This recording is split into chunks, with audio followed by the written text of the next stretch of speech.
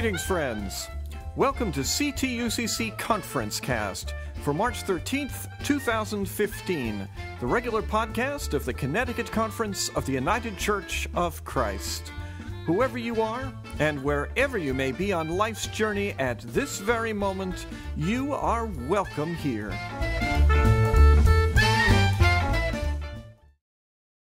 We begin this week's conference cast with this meditation from the Reverend Da Vita McCallister, Associate Conference Minister for Leadership and Vitality.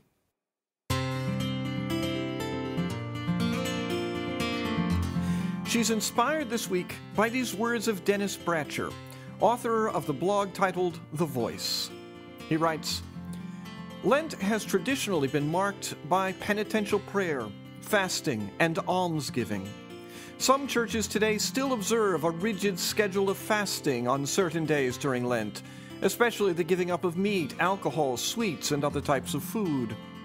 Other traditions do not place as great an emphasis on fasting, but focus on charitable deeds, especially helping those in physical need with food and clothing, or simply the giving of money to charities. Most Christian churches that observe Lent at all focus on it as a time of prayer especially penance, repenting for failures and sin as a way to focus on the need for God's grace. This past weekend, we commemorated the 50th anniversary of Bloody Sunday.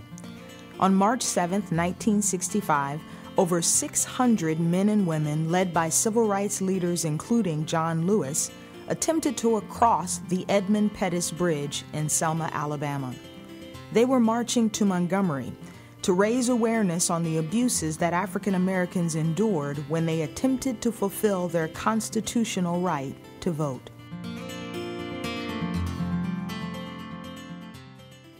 As they attempted to cross the bridge, they were met by Alabama state troopers who dispersed the crowd using tear gas and billy clubs. Over 50 people were hospitalized, and John Lewis's skull was fractured. I offered the Spirit calendar in December and began with a quote from Dennis Bratcher of the website The Voice. I was struck by his clear connection between Advent and justice. I returned to his post to see if there was a link between Lent and justice. He made no explicit claim in his post but simply reminded readers that Lent is a time to fast, to offer charitable deeds, and to pray. He suggested that the prayer should focus on penance and our collective need to repent for failures and sin. Is Lent the time to fast from apathetic responses to the cries that Black Lives Matter? Is it a time to offer genuine aid to those who still fight to have their constitutional rights honored or a time to pray for our country's original sin, slavery. Perhaps these are inappropriate suggestions for Lent. After all, Lent is a relatively short season in our liturgical calendar. To take up these tasks faithfully for the remainder of the 40 days of Lent, and then to joyfully lay them down on Easter, would betray God's call of the church. I think that Bratcher was right to leave the work of justice out of Lent. It is too important to take up in the 40 days alone. Perhaps we can use this time to prepare for the long work of justice.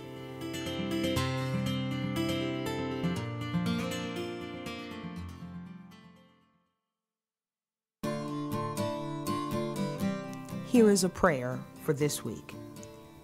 We pray for courage consistency, and stamina to fight in the long work of justice. Amen.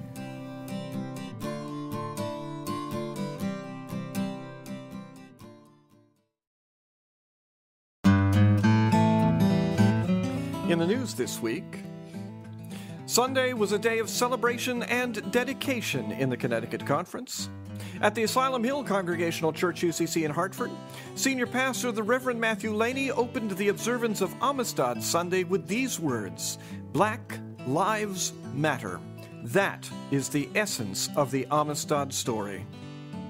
Six Hartford area congregations joined to recall the struggle of 53 African captives to win their freedom through the U.S. courts after they were enslaved, illegally, even under the law, in 1839.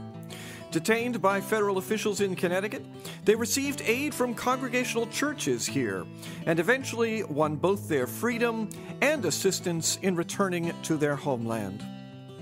The Reverend Stephen Camp of Faith Congregational Church UCC noted that the struggle for justice is not as clear as it was when the question was slavery. He said, Today it has become harder to distinguish a division such as that, to place blame so definitively.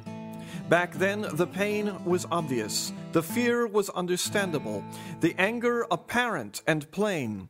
But now it is delicately spoken and clever at best. The worshippers came together so that the words and music could help them to clarify the cause, the causes of today, and to equip them for the work ahead.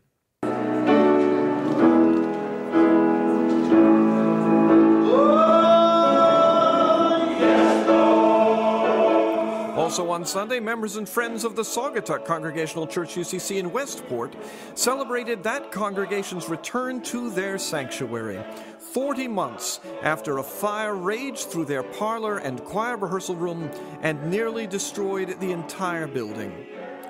John Walsh, who chaired the building committee, recalled answering a text from his daughter as he stood outside the church the night of the fire. She said, Dad, I saw in Westport now. The church is on fire.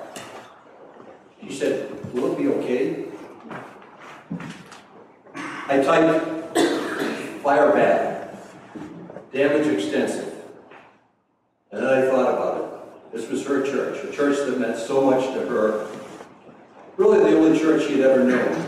A church that meant so much to our family and so much to so many people in this community. I added, church will be okay. And I get send. And then I thought about it. and then I saw the fire, the flames roaring out of control.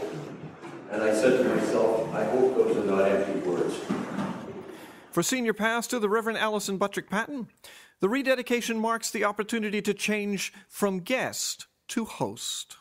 That loss has a way of expanding our view if we let it, of pulling back the curtain to show us that hardship connects us with the whole human race, reminds us that we ought to look after each other, that we are called to be a force for good in the world. Be kind for everyone is fighting a great battle, said the Scottish author Ian Maclaren. And do not oppress the alien, the sojourner, God commanded the Israelites, for you know the heart of the sojourner.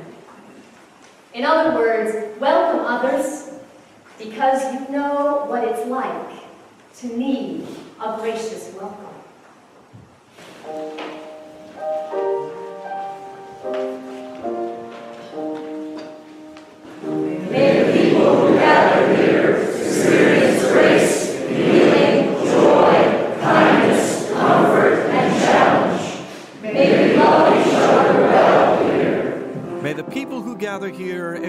Experience grace, healing, joy, kindness, comfort, and challenge.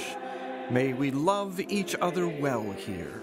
And may the doors that welcome us in today also open out to remind us that here we are equipped to serve because you call us to be healers in a broken world, voices in the wilderness, companions on the journey, seekers after justice, and bearers of your light. In your holy name we pray. Bless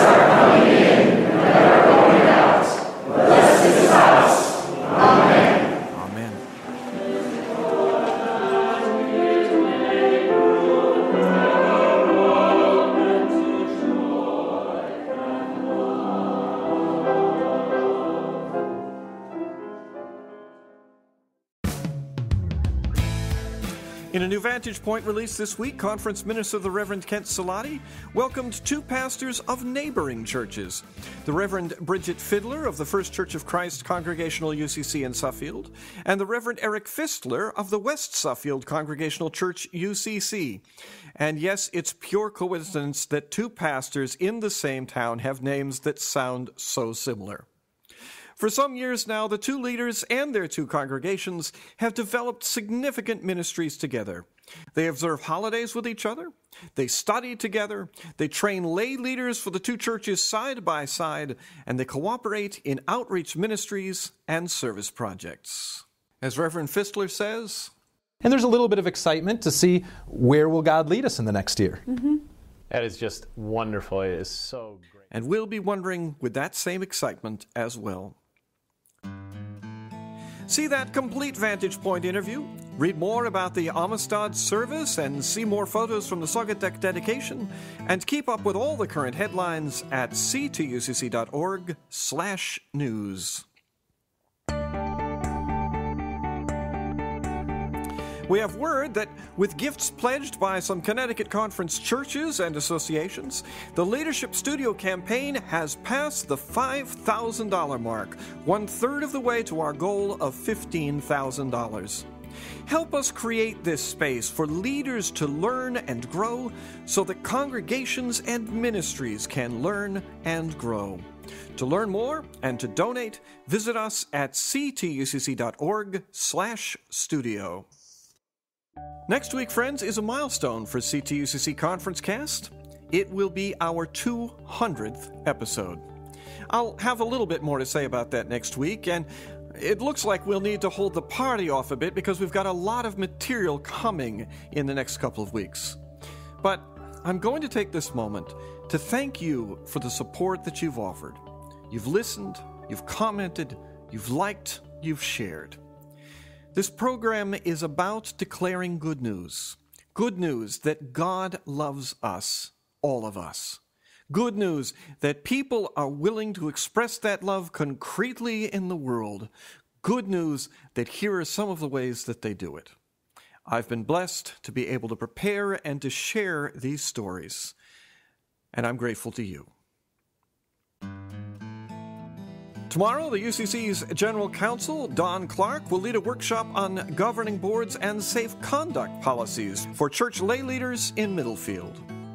Advanced registration for Super Saturday is now closed, and there may or may not be room for walk ins.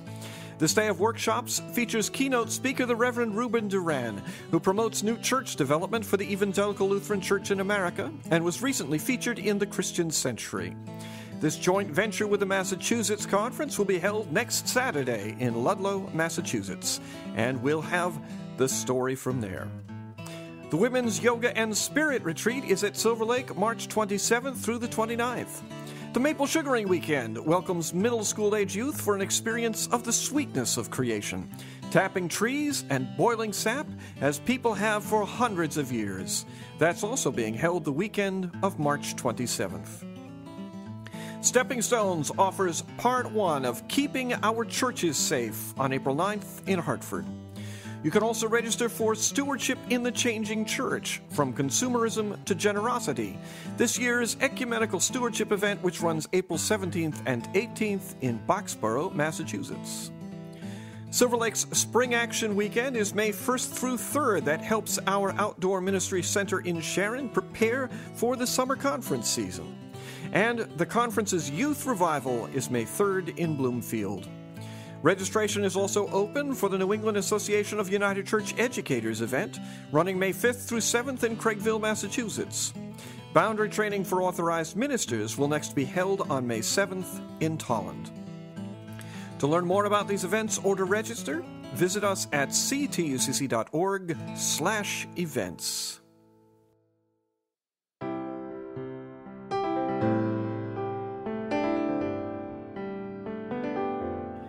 Our Spirited Wednesday thought comes from the Reverend Jonathan Chapman, pastor of the Westfield Congregational Church UCC in Danielson. In the third chapter of John's Gospel, the evangelist observes that those who do evil hate the light and do not come to it lest their deeds be exposed, whereas those who do what is true come to the light. Reverend Chapman writes The truth is, we are people of light and darkness, rays of light and long shadows of despair. We look toward the dawn for the future it brings and covet the sunset for the avoidance of truth it secures. And just when we realize that great cosmic battle of light and dark, of good and evil, is the same pull we each feel, the psalmist reminds us to give thanks to God. For God is good because God's faithful love lasts forever. Through it all, God is with us.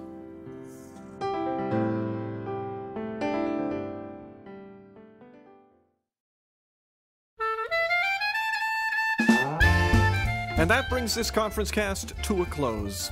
Thanks to Day McCallister for her reflection and to GarageBand for our music.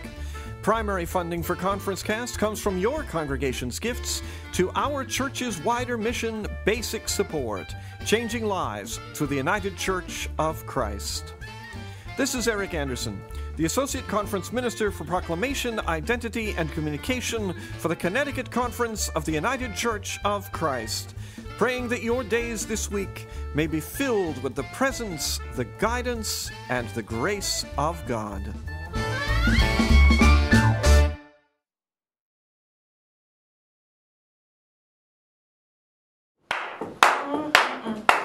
That in the ready? B-roll. Okay.